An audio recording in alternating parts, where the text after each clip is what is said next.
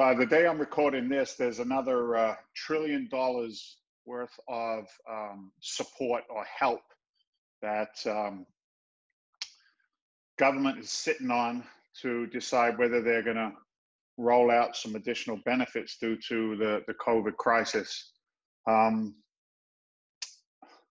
I'm not going to play the game. I'm not going to, uh, you know, yay or nay or whatever the case may be. It's outside of my control. But what is inside of my control is how I deal with this this crisis and this situation going forward.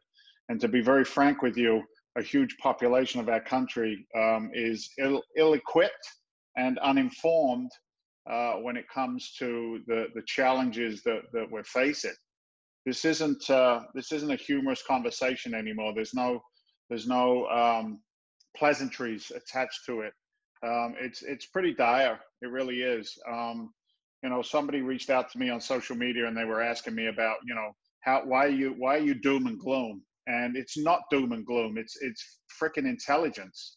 Um, it's understanding what is going on, taking a look at the data, and then determining for one's own self whether their current plan of action is going to work or not.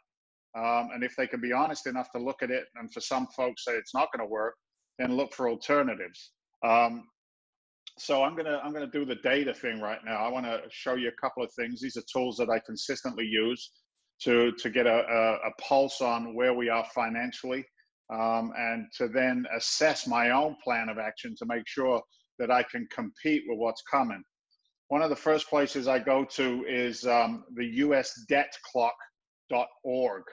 Um, this is the lifetime uh, website for our financial checkbook, if you will, in our country. Uh, the first number I see there is the U.S. federal tax revenue. So that's the money that we make as, as a country. Uh, that's our tax um, income.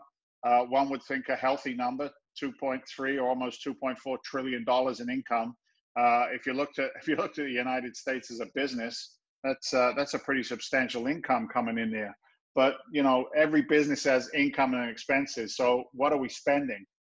If we're bringing in 2.4 trillion, you know, we should be paying attention to what we're spending, which is where most people don't pay attention. Because as it stands right now, and this is live uh, while I'm recording this, we're at 5.1, almost 5.2 trillion dollars in spending. So we're bringing in. Let's just hit it one more time. We're bringing in almost 2.4, and we're spending 5.1 or 5.2 trillion. Now, I don't know about you. To me, that's a problem. Uh, we know what the resolution for the government is to do is to print more money, devalue currency. But they're even talking about putting another trillion dollars worth of debt on our country. So the U.S. Uh, federal spending deficit potentially has uh, has the chance to jump another trillion dollars um, very very quickly. I get it. We're in a crisis. I don't know if this is the right answer. I really don't. I'm not going to go there. But what I am going to do is focus on some of the challenges that this brings for us, and primarily, what does it look like to be able to to retire in our country? This is a number that very few people pay attention to. It's called unfunded liabilities. An unfunded liability is a promise to pay, and our country has promised to pay 153 trillion dollars worth of something, a promissory note. And the promise is this: Medicare Medicaid, Social Security, retirement, and then all of the other expenses that they carry, which are based off of a promissory note or a promise to pay. It's an unfunded liability. There's a lot of debt. I'm worried about the next generations coming forward. I'm worried about what it looks like for my for my kids. Uh, pay attention, I guess, right? Just pay attention. Um, here's here's the the next challenge with it is the fact that many Americans don't understand um, what a what a long game looks like, a retirement plan looks like. You know, they're relying on on somebody else to make those decisions for them. Again, no right or wrong, but 401ks and retirement plans through employers, and it doesn't matter whether you're a high earner, a medium earner, or a low earner. Um, the biggest majority of our country follows the same plan. And what they don't realize is is that this plan doesn't necessarily fit into the long-term goal of retiring. And what you see on the screen right there is what's called the rule of 72. And the rule of 72, as you can see right there, says 72 divided by the interest rate that your money is working at, right? will tell you how long it would take in time for your capital to double. So, how much money do you actually need to get to the finish line?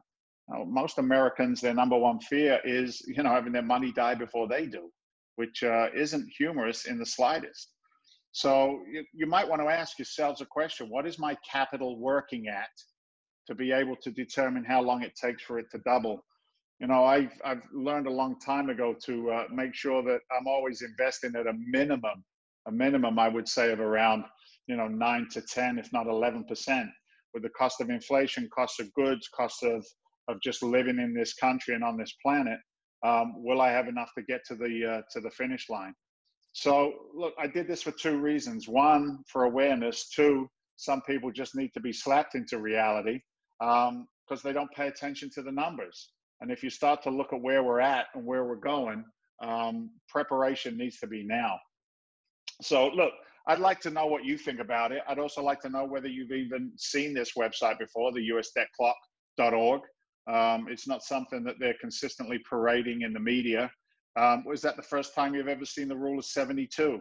72 divided by the interest return on the capital invested will tell you how long it takes to double that capital because we're always looking to get money up and working. So on a call last night and starting to talk about, you know, projected rates of return at uh, eight to 10 to 12% cash on cash.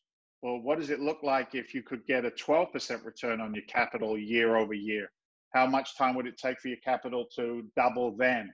And in some of the investments, we start talking about 20% plus in internal rate of return, targeted rate of return for investors.